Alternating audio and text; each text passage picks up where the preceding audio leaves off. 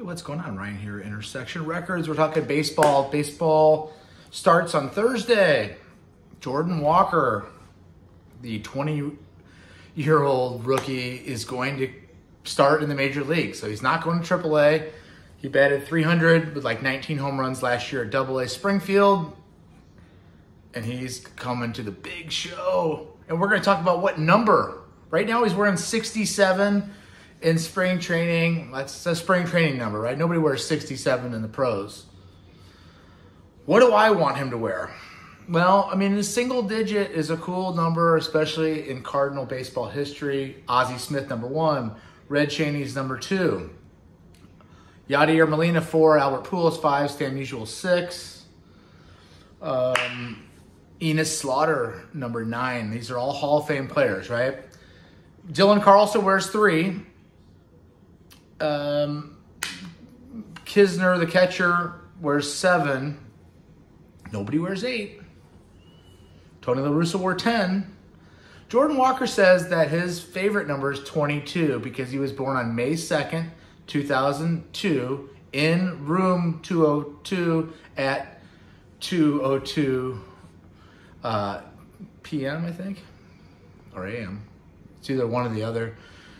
So he wants 22, but Jack Flaherty wears 22. My son, Rai Rai, or Ryan, 10 year old son says he wants him to wear 44. 44. Great power hitting number, right? Reggie Jackson, Willie McCovey. How about 24? It's a good power hitting number. How about 28? Did Pedro Guerrero wear 28 when he played for the Cardinals? Um, I'm going to go with eight as my first choice. It's kind of a cliche that your best player gets a single digit number. It's cool that he does. A big eight. This guy's six five. Actually, I think he's six six though. He grew an inch.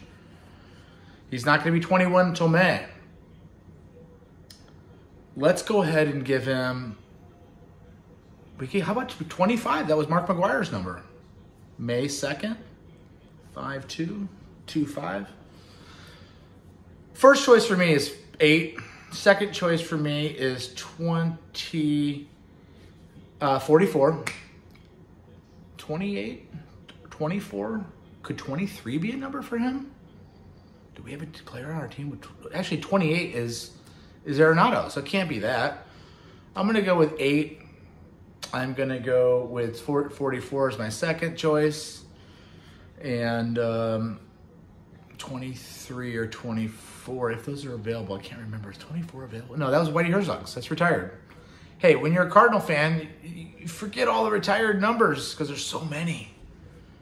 Peace out. Subscribe to the channel. We'll talk a little bit more baseball this week. We'll, we'll do a prediction show where we're going to predict the World Series winner, the MVP, Cy Young, Rookie of the Year, batting champion. I don't know. I haven't fully thought about it. Check out later this week ranking of the albums of the Eagles. We're going to do another Yacht Rock review on the debut of Toto. I'm working on a Santana show.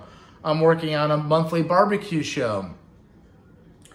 I am working on a Blue Oyster Cult show. And I'm working on the Eagles literally right now. Literally right now. We're ranking all these records. We're talking about them.